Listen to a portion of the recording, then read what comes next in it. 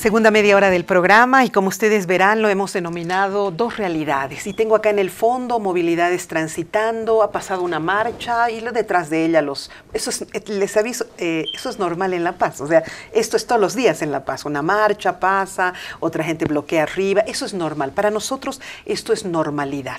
No es normalidad lo que está pasando en la zona sur, donde muchas áreas están bloqueadas y está realmente estrangulada en la zona sur. Sin embargo, acá en el centro hay normalidad. Están viendo ustedes, transporte público pasa, minibuses, eh, minibuses trufis, radiotaxis, en fin, está tranquila. Nosotros estamos a media cuadra del estadio Hernando Siles, eh, donde... Eh, a dos cuadras de la Plaza Murillo, para el otro lado son dos cuadras a la Plaza Murillo. Pero tenemos que ir entendiendo todo esto, porque todos proponen, la verdad es que no veo que nadie aterrice. Termine contigo, ¿cierto? Sí, entonces empiezo un poco con, eh, con Jorge, por favor. Ha habido propuestas de Camacho muy, muy, muy puntuales que voy a pedirles que ambos las veamos y luego tú me hagas un análisis sobre eso. Adelante, por favor. Porque dijimos desde un inicio que Dios tenía que volver al palacio.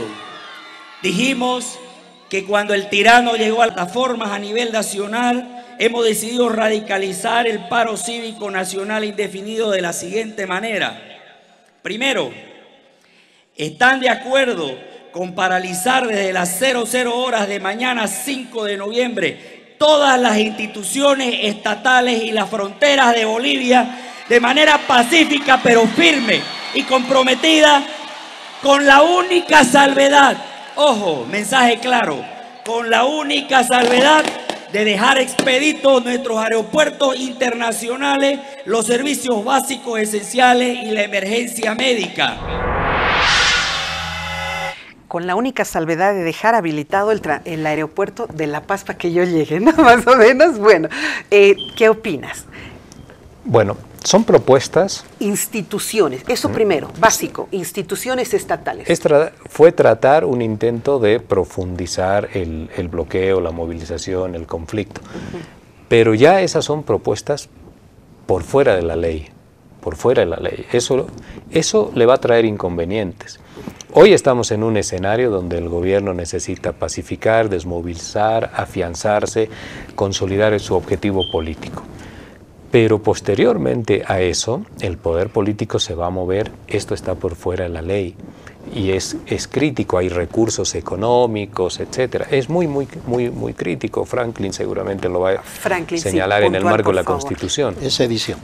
¿Sedición? Claro, es de poner a las autoridades. Defíneme de sedición. Bueno, la, la, sedición es pues dividir el país, uno de los puntos. Es una división del país. Con esta, con este, refiérete exclusivamente a esta propuesta que ha hecho. Dividir y afectar la economía del país. ¿no? Es una medida tan arbitraria, por eso yo calificaba... Bloquear instituciones estatales. Claro, es un acto sedicioso. ¿no? de poner a las autoridades. El que de poner a una autoridad pública legalmente constituida comete ese delito. Por lo tanto, yo por eso calificaba como un estado de sitio de facto por parte del comité cívico. Es decir, que el, poder ejecutivo que trabaja bajo la, eh, bajo la descentralización y además Santa Cruz como un departamento autonómico se ve paralizado en la vida institucional pública. No hay trámites, mm, La gente se ve muy afectada y eso sí va Uy, me asustas cuando me dices un acto de sedición. Vamos a ver, eh, segunda propuesta del señor Camacho. Gracias. Solo le pido aguantar un poco más. Hoy día se inician las movilizaciones de los paros coordinadas con el sector de transporte internacional, absolutamente bloqueadas y todas nuestras instituciones se toman desde esta noche, se resguardan y garanticemos que no entre un peso a este estado de, dictador, tirano, violento y asesino. Bueno, eh, ahí están algunas de las alocuciones. Hace referencia al tema impositivo, eh, que los impuestos ya no se paguen, que los bolivianos ya deberíamos dejar de hacerlo. Apropiación de recursos públicos es un delito. Volvemos a, lo mismo. Es un delito. Está Y una- tratar también, ha mencionado, tratar también de señalar las directrices para las conductas que debe asumir el comportamiento de la institución policial, no le compete, también está en un delito, eso tiene otros, otros conductos y otros canales de relación. Las propuestas que ha hecho el señor, el señor Camacho el día de ayer generan esa primera sensación de, de angustia entre la gente que se ha movilizado, de sabor a poco, porque la gente comprende de lo irrealizable de esto, de lo irrealizable de esto, de las pocas posibilidades de, que tienen para poder traer una carta y hacérsela firmar al, al presidente. En realidad hay un- una intencionalidad distinta. La intencionalidad distinta quiero ver que está relacionada a la creación de un liderazgo político en la eventualidad de un proceso Electoral. electoral, ya sea en lo regional para gobernación, ya sea en lo nacional para sustituir el espacio de mesa y poder construir un liderazgo nacional. Ese puede ser en realidad el trasfondo de la llegada a la ciudad de La Paz. Ok, eh, Franklin, ¿tienes similar eh, percepción? Mm, Voy a acotar. Eh, lo que pasa es que ahora se, se desnuda la mentalidad de esa oligarquía cruceña cuando quieren independencia. Si tú les dices, nos vamos a independizar del poder central y vamos a crear procedimiento de pago a la policía, está diciendo de que ellos van a tener su propio, Su eh, elemento coercitivo. Pero entonces, ¿para qué quiere venir a La Paz? ¿Cuál Para- es la necesidad? Si él quisiera hacer una independencia absoluta, no, No. tendría para qué venir a hablar ¿para a La viene? Paz. Porque- y sigue reconociendo a nuestra Pero autoridad. él está poniendo fronteras a Santa Cruz y eso es independencia, pues. Ahorita ya... eh, Porque a- si a- tú propuestas- comparas las propuestas que él hace con lo que establece la Constitución, todos sus actos son contrarios a la Constitución. Y, y en el fondo, ¿qué está buscando él? La independencia de Santa Cruz. Bueno, que esto ya y los demás departamentos, ¿qué están haciendo a través de la CONALDE, a través de los comités cívicos como de Potosí? Lógicamente no están dándole una buena lectura, pero ciegamente lo están apoyando y, y- y están avalando esa conducta de la independencia de Santa Cruz. En el fondo es eso, Hay, hay una intención. un sistema de facto de independencia. Bueno, el señor eh, partió O cuanto anoche- menos una profundización de una visión federalista. Sí. ¿no? Y esto Sí, quería acotar. sí, probablemente. En la Yo sucesión presidencial, el que dijo la anterior semana, muestran la foto de la presidenta de la- del órgano Ya no supremo. alcanza ahí. Ahí se equivocó, parece que está con la constitución del 67. ¿Qué dijo? Porque en la consti- constitución del 67 podría llegar a ser presidente el presidente del Tribunal Supremo Como de Belcé. Justicia, como ¿Cómo Belcé. lo fue? Pero la, actual constitución te dice, si el presidente renuncia, sucede en el cargo el presidente, la presidenta o presidente del, del ¿No el Senado. vicepresidente? Primero el vicepresidente. Correcto. Si renuncia el vicepresidente, se va al Senado. Si Ya. renuncia el presidente del Senado, se va a la Cámara de Diputados. Presidente queda. de la, ahí queda. Y dentro de los tres meses siguientes se convoca elecciones. Ah, no es como antes que terminabas No, hasta no, para el- nada, Ah, para nada. ya, o sea que en este caso nos llegaríamos hasta la presidenta del Congreso, que sería eh, La señora Salvatierra. Salvatierra, ¿no Hasta el presidente de la Cámara de Borda. Diputados. Ah, de Borda, diputados, que sí. sería Borda. Hasta ahí es podríamos. potosino, ¿no? Una es cruceña, el Potos- otro es potosino, potosino. todos del MAS, claro, les van a hacer renunciar. Ya. Y luego vamos a llegar a lo mismo que quieren, elecciones. Ok. Se necesita un nuevo Tribunal Supremo Electoral, un órgano electoral plurinacional. Se necesita un nuevo, se necesita una nueva institucionalidad. Correcto. Además se necesita una nueva institucionalidad en Bolivia en muchas otras instituciones. ¿Y quién lo Por decide ejemplo, eso? el, el poder judicial también. De acuerdo, pero en este momento, para esta transición, necesitamos un órgano electoral. Exacto. El país va a tener que implementar una agenda institucional posiblemente el próximo año. Ese es un tema muy aparte. En lo que hace al órgano electoral, acá, y ¿Quién lo elige? ¿Quién elige a los nuevos miembros del órgano electoral? hay que esperar el, hay que esperar el informe de la OEA, porque el informe de la OEA, al tener el compromiso de carácter vinculante, va a definir algunas De cosas. acuerdo, pero- si el informe ratifica la primera, la- una victoria en primera vuelta, y este órgano electoral tiene que organizar elecciones subnacionales el próximo año. Este órgano electoral. Puede cambiar, Pues es la solicitud puede, de mesa. Puede cambiar rápidamente para el próximo, para el próximo año. Pero ¿quién los se, se, se tiene que elegir en Congreso. ¿no? Y en el Congreso, Es ¿quién tiene un- los dos tercios? ¿El Se nuevo elige- Congreso o el antiguo no, no, no, Congreso? el, nuevo, el, ac- el actual Congreso. El actual Congreso y el ahora actual, el actual. por eso digo, funciona, por eso. ¿no? El actual y el actual Congreso. Congreso, ¿a quiénes tiene? Absolutamente, un inminentemente masista. Por eso hay muchas... ¿Por qué el, el proceso este de, de- de confrontación con el gobierno no tiene posibilidades de éxito? Eh, no es que sea un deseo ni, ni nada por que se le parezca. Las propuestas que se van realizando están tan por fuera de la ley, de la realidad. de, de la realidad, de la ley y de los tiempos constitucionales, institucionales de Bolivia, que no le no permiten Claro, claro.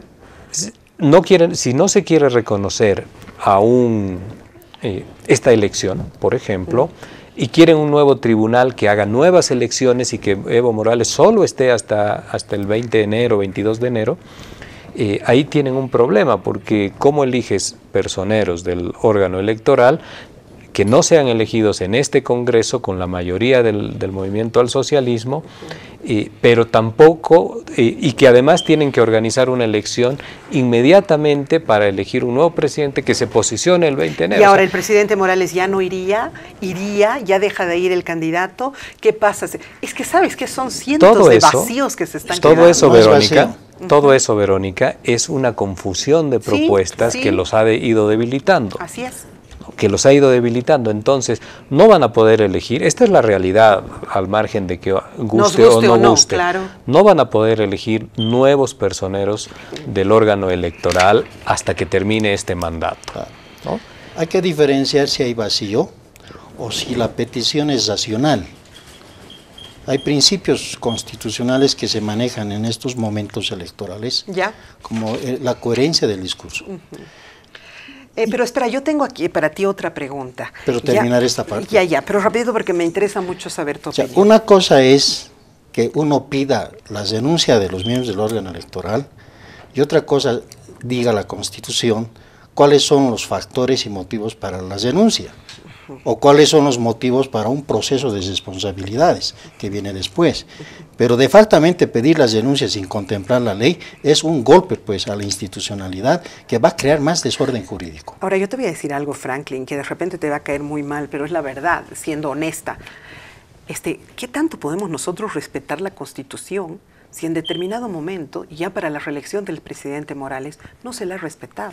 Claro. Es como que ya todos la pasaron encima, entonces ahora vamos a acudir a la Constitución, entonces acudiremos pues desde arriba, donde ya no se podía aprobar la repostulación del presidente. Bueno. ¿no? Entonces, por eso te digo es que la Constitución ya está un poquito como muy violada, la pobre, ya cuánto más la vamos a, a- a violar. Ahora te pregunto una cosa. Democracia sin demócratas, hay un libro interesante. Sí, ahí está. Te pregunto algo. La intención de llegar de Camacho ayer, eh, la salida esta mañana muy temprano, eh, gracias a personeros del Ministerio de, Gobierno, porque ya el pueblo o la gente del MAS, o como quieran llamarlo, eh, sobrepasó a la línea policial, ya estaban para entrarse y lo sacaron a toda velocidad y lo llevaron, llegó sanito y salvo con toda su comitiva al trompillo, bajó enojado, qué sé yo. Pido, pido 48 horas para que renuncies, fracasamos. Trato de ir a La Paz para que firme la carta, fracasamos. Este, o sea, ¿qué, qué lectura tienes tú sobre todas estas tropezones? Bueno, primero que yo vi en un medio televisivo ayer de que una periodista le, eh, le entrevistaba vía teléfono y él decía que estaba en un hotel ya en el centro de La Paz. Que estaba en su casa, eso estaba fue en, ah, no, en una casa, en. Zedú, ¿no? Siguen En Que haciendo. estaba en una casa. Bueno, y eso fue mentira. Dice en su Twitter, Claro. siguen haciendo guardia los del MAS y yo ya estoy llegando a mi casa de La Paz. Me han tratado Falso. muy bien, dice. ¿no? Falso, un montón O sea, de falsedades. Pero su- esta, esta era la voz de, de Camacho, esta era una entrevista en vivo, En vivo. al aire, y Camacho eh, miente, miente, no puedo imaginar ni de casualidad que sea concertadamente, miente y dice que estaba en su casa, en el centro, que lo había ayudado la policía, que había salido por un galpón, por un acceso de forma distractiva a toda la gente Así del es. MAS y que ya estaba en la ciudad reunido y organizando cómo iban a entregar la, la gente con la otra gente de comités. Y él estaba en el o aeropuerto. O sea, no solo tenemos noticias falsas, tenemos también declaraciones falsas, pero eso, mentiras. eso, Franklin, Verónica, eh, es un dato bien importante. Qué bueno que lo has traído a colación, Franklin. ¿Por qué? Porque te muestra también el perfil psicológico, político de una persona que tiene capacidad de hacer una declaración al aire, en vivo, ante millones de, de, una teleaudiencia enorme en ese momento, y, que no sufre ningún rubor para mentir. Y ese es un dato que hay que tener en cuenta después, posteriormente, en el análisis político, porque marca la conducta. Tienes toda la razón. Mira, este, no sabía eso. No sabía. Bueno, yo hago el monitoreo en la oficina de todo lo que acontece, ¿no? Entonces, o sea, mentira tras mentira. lógico, lógico, ¿no? Tal vez eh, eso te muestra de que él toma decisiones arbitrarias. Por eso los errores de la sucesión constitucional. No hace caso ni siquiera a sus abogados, no revisa la constitución. No pregunta un no constitucionalista. Pregunta, tantos abogados buenos que yo conozco en Santa Cruz brillantes, que podían asesorarlo bien. Entonces no es un líder, es un caudillo para mí. ¿no? Pero el caudillo pues va por aquí, va por allá. Belsu cometía los mismos errores. Claro. Belsu era, a veces, pese a la popularidad, cometía muchos errores en sus discursos. Entonces vemos un caudillo que eh, no es ilustrado, es un caudillo tal vez bárbaro, como Arcís Arguedas llamaba, pero esto a estas alturas, donde el país está tan tenso, que te vengan a mentir, donde los canales extranjeros están detrás de él y que mienta a todos, bah, Terrible, de verdad. Y este no. es un supuesto, esto está grabado y transmitido. Está en las redes y, también está en el canal por el cual salió, donde los conductores hacen una referencia explícita. No es que dura 30 segundos, es una entrevista de por lo menos 4 o 5 minutos. Así es. Y, eso sí es un elemento, es un elemento que hay que tomar en cuenta. es que para ser líder hay que tener mucho ¿tú cuidado. Crees no te puedes arriesgar de esa manera, a decepcionar a la gente que te está acompañando, un pueblo cruceño que está pero realmente enamorado de ese líder y que su líder empiece a dar tropezones que su líder empiece a equivocarse, que su líder empiece a mentir, por Dios, ¿para dónde tenemos entonces el líder? Tú haces una medición del escenario donde vas a radicar por unos minutos, un día, no sé. Si tú no haces un análisis del, medio en el, que, en el cual te vas a desenvolver, te estás yendo una aventura porque él sabe que el alto no, no, lo quiere. O sea, él debería tener una perspectiva más clara y decir, bueno, voy o no voy o qué hago. Pero él tenía que cumplir con el discurso, porque él dijo, voy a irle a pegar a la frente al presidente los puntos del cabildo, voy a llevarle a hacerle firmar su renuncia. Imagínate ahí, puedes hacer un análisis psicológico bastante rico. Entonces, eso fracasó y se cayó con la mentira. Se cayó. Bueno, este, queremos aclarar que nosotros no tenemos ninguna intención de que eh, estemos de un lado o del otro. Estoy con esta cámara, por favor, Miguel. Sino lo que queremos es mostrar las equivocaciones y los errores de todos los grupos políticos que están participando en eso.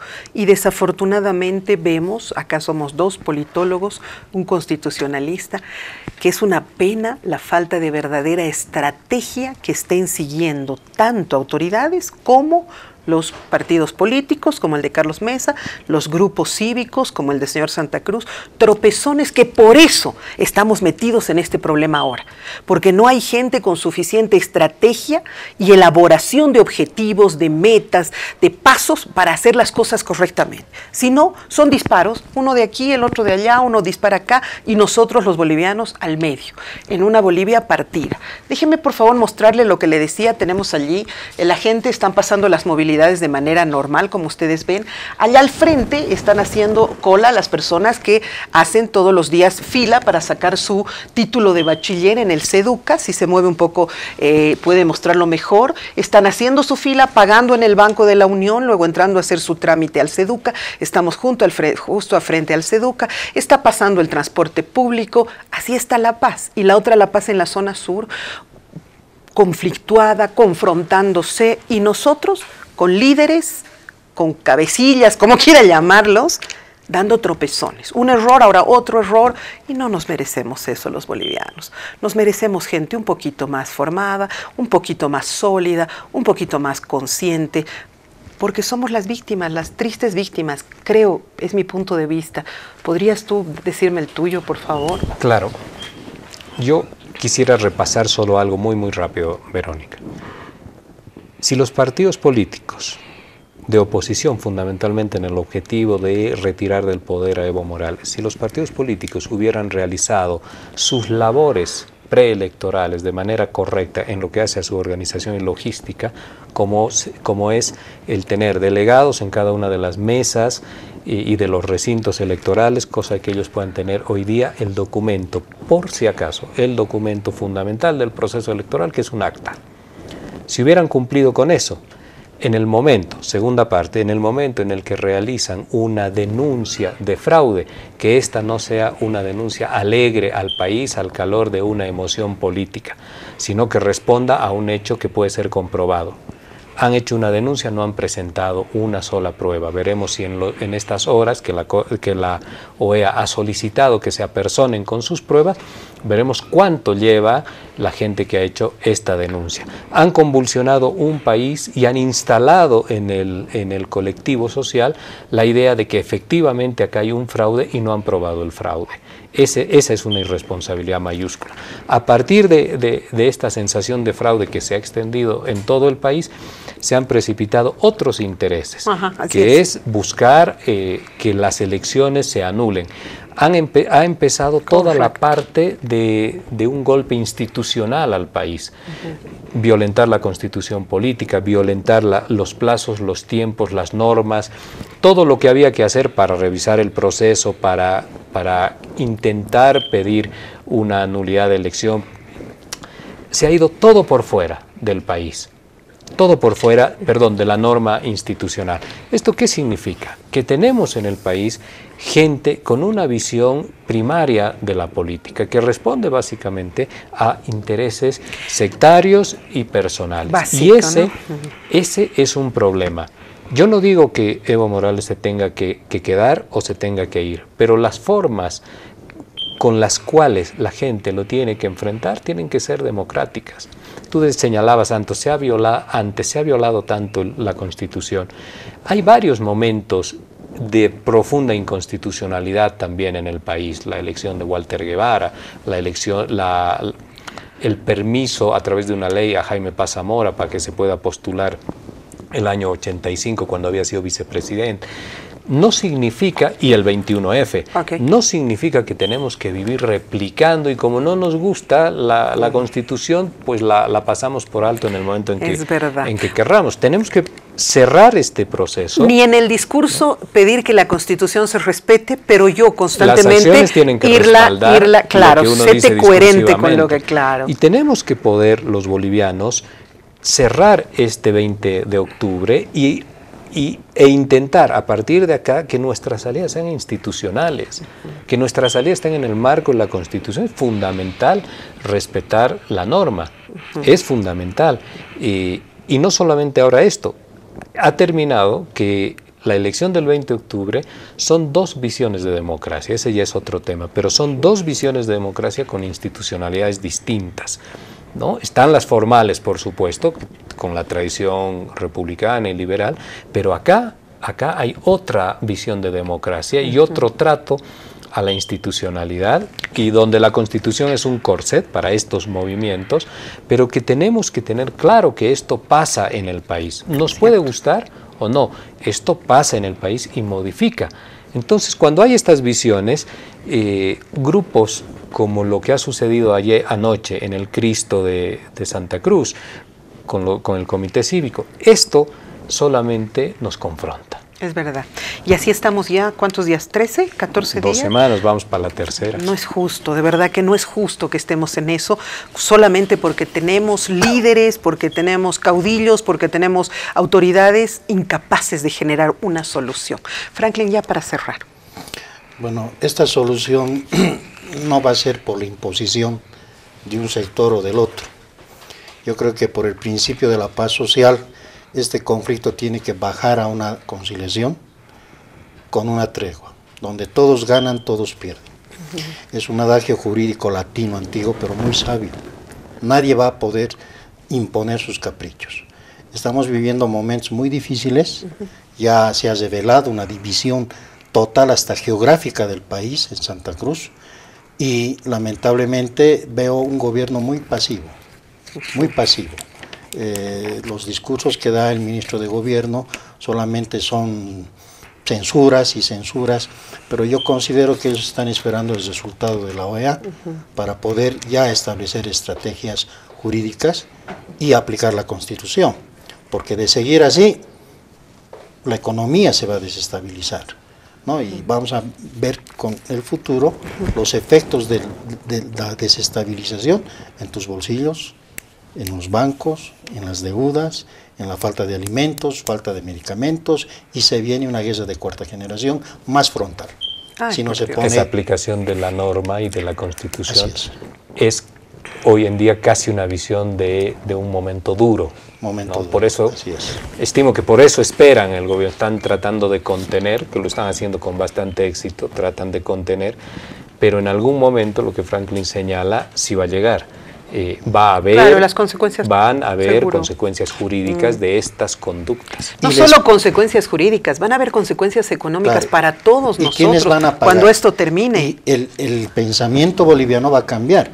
Ya no va a ser estamos en contra de MES, estamos en contra de Evo, estamos en contra de los dos Claro los dos que se vayan por incapacidad. Que por ahí va la cosa por lo visto por ahora, ¿no? Bueno, no nos merecemos esto de verdad, un país de gente tan trabajadora, un país de gente tan, eh, tan sacrificada, una Santa Cruz de la Sierra pujante que ha tenido un crecimiento en estos últimos 20 años impresionante, eh, construcciones, ideas, proyectos, una nueva Santa Cruz que creciendo, no nos merecemos esto de verdad.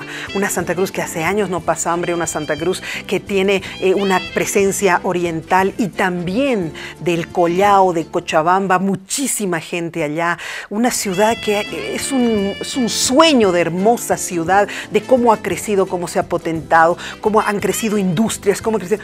No nos merecemos esto ahora, nadie se merece esto, ni los paseños confrontados, los sureños contra los norteños, no nos merecemos esto de verdad, somos un país que sin duda merece muchísimo más. Ha sido un gusto tenerte Franklin, será hasta, la, hasta que la OEA nos dé el resultado, ¿no? Si la OEA no da y el poder constituido no funciona, hay que activar el poder constituyente.